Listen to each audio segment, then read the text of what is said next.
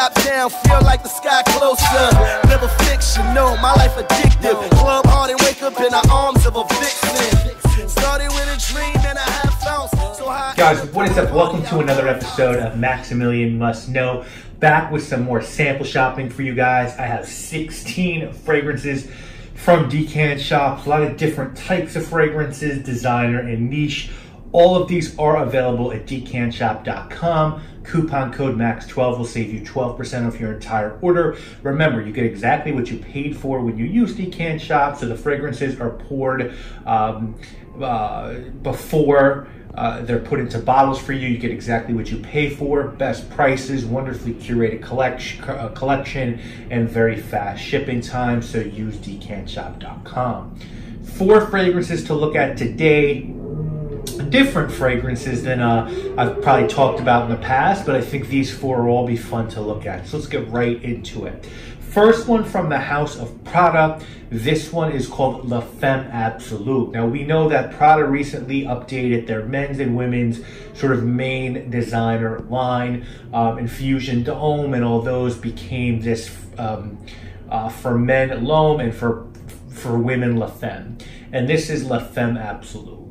Um, from Prada, I own Pour Amber Homme, um, Intense Poppy, Infusion d'Homme, Luna Rossa, and Luna Rossa Extreme. I need to check out some of the scents from their higher end range because I don't think I've smelled any of those. And I'm probably gonna, at some point, buy Amber Pour Homme.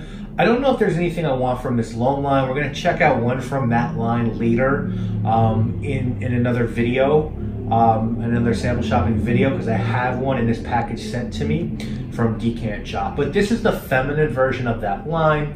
This is a 2018 release from perfumer Daniela Andrier, who's the seems to be the Prada in-house nose at this point. And the notes on this are blood orange, peach, Jamaican chili pepper, orange blossom, neroli, immortelle, broom, tolu balsam, and vanilla. And even if you find this one discounted, you're gonna pay about a hundred bucks. This is not a cheap fragrance. I believe retail it's 150. So designer prices are definitely sneaking up there. Um, and this is a really nice fragrance. It's a good female scent, very tart. Um, you can smell what smells like a sort of blood orange peach accord. I don't get anything that resembles chili pepper. There's orange blossom, there's neroli. I don't get really any, any immortelle. There's some vanilla. It's just like a very a high quality, fruity, tart women's fragrance. Um, it leans very feminine. I think a, a, guy could wear this if he wanted to, but I think this is um, more women better for women, and it's kind of upscale. It's nice. Like I don't, I definitely think this is good. There's some women that will wear this; it'll smell great on them. Um, it smells well made, but it's sort of like everything else out there, just better. If that makes sense. It's sort of that women's fruity fragrance, uh, but just done better. So not unbelievable, but certainly good quality. Um, the next one is really interesting. This one is called Bois de Paradis, and this is from a house called Parfum del Rae, which is a San Francisco indie based house that I don't know much about, but they've got like 10 fragrances. Um, I think they're all done by either Michael Roudnitska or Yann Vasnier. Um, this one is a Rawniska creation, and the notes on this are what really drew me to this one. You've got citruses, French rose, blackberry, fig, spice, amber woods, incense, and resins. Um, if you go to their website, it's $150 for 100 ml of EDP. So again, not cheap, but sort of indie pricing. Um, and this is really very nice. This is sort of a um, a fruity rose, I would say. A little woody. It's got a tropical vibe to it, but not like a creamy white floral tropical vibe almost like a tropical rose scent. You get the blackberry in here, you get the fig. Um, it's just really nice. It sort of smells like a, I don't know, like a really nice, I mean, the name I believe means wood of paradise, paradise wood, and it just has that sort of vacationy vibe, but in a darker way. Like the rose is dark, it's got a nice, very nice fruit accord, almost like a red winey type thing. Really good. Again, I think it's more for women I think, but I think it's excellent. Uh, it's it's a really good women's fragrance. If I was a woman, I would I would wear this. I would I would definitely wear this and probably buy it. It's really good. If you like um, sort of berry, fruity, darker scents, then I would definitely give this one a look. Next one is is um, Apom Um by Maison Francis Kurkdjian. Cur- Kurkdjian. Um, and um, I actually have an 11 ml of this in the MFK bottle because I got this in the men's Coffret set, which um, I bought at Bergdorf Goodman a few years ago. Um, and I had pretty mixed emotions on this brand. You know, I, I love the work of Francis Curtisan. Uh, I want to purchase full bottles of Amyris Perron and the original Oud from this brand. Um, and I have both of those. I have, um, you know, the Coffret size bottles. And there are many scents I need to try from the brand Grand Soir, the extracts, the gentle fluidity scents. Uh, but I, sometimes I feel like his best work is done for other houses, but that's me. Um, if you're interested in APOM, it's $215 for a 70 ml, and the coffret sets are $215 for eight 11 ml fragrances. Now, the notes on APOM, which means a piece of me, are African orange flower, amber, and Virginia cedar. cedar. So it's a very simple note breakdown. Um, and it's, look, is a good quality, a good quality fragrance. It's sort of got that Maison, you know, Francis Kurkdjian simplicity. His own line, the fragrances are very simple. And this is really just about, this is a men's orange flower um, fragrance. That's really it. Uh, I don't really get Virginia. I don't get cedar here. Uh, yes, there's some vanilla amber, but really it's just about that creamy orange flower. And he also did Fleur de Male for Jean Paul Gaultier, and that's different than this, but they both have that orange flower note. Um,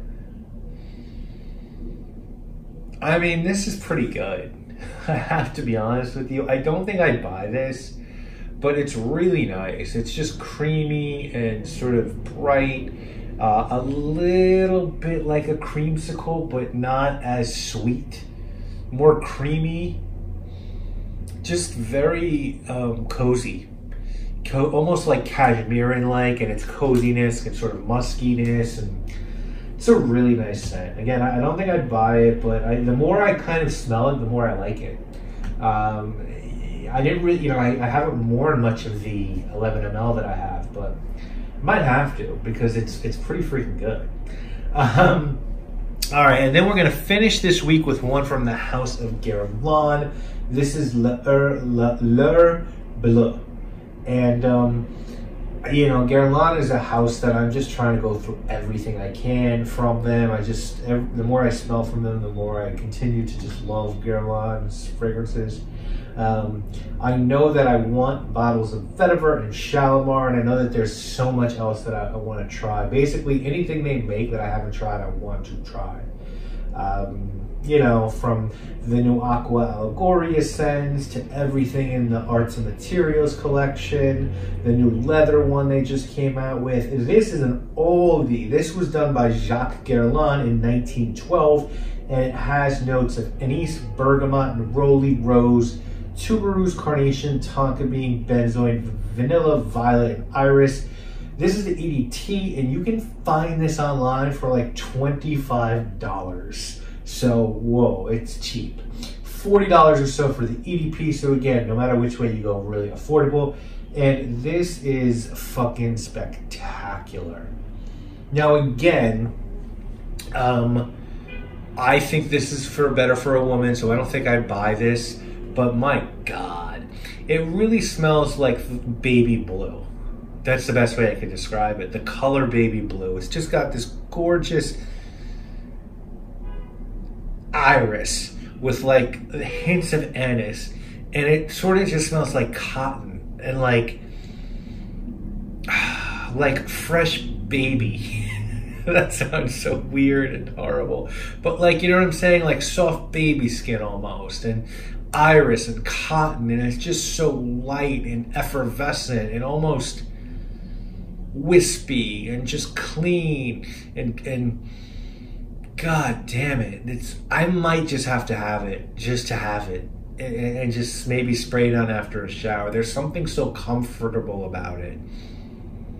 And the iris here is just so like almost floating. It's that light. It's just i've never smelled an iris like this I, this is so good it's scary I really like this. You have to check L'Heure Bleu out if you like Iris. All right, so that is sort of my take on these. If I'm rating these, I think you guys can figure this out. L'Heure Bleu far and away number one. Uh, Cause I'm a dude, I'm gonna go APOM two. Um, the uh, the um, Bois Paradis three and Prada four. I will probably wind up buying L'Heure Bleu Maybe one day APOM, who knows? I doubt it. I like it. I just don't think I like it enough to pay Maison Francis Kurkdjian price. And the other two, I think if you're a woman and you watch these, you might want to check them both out. Pro- maybe not the Prada, but definitely uh, Bois de Paradis because that's really good. All right, guys, I'm going to see you in a couple weeks with the next round. Next up, we're next round, we're going to take a look at something from Dior Privé another from Guerlain, something from the house of Cremo, you know, the Target shave house, and something from the house of Ralph Lauren. So Dior, Privé, uh, Guerlain, Cremo, and Ralph Lauren next next time up. Again, decantshop.com, coupon code MAX12 to give these all a go. I will see you again real soon with more videos. My name obviously is for my dogs and them dog things. Fantasizing about Nikki and a G-string. Never losing, winning is a state of mind. Just remember if I shine, you shine.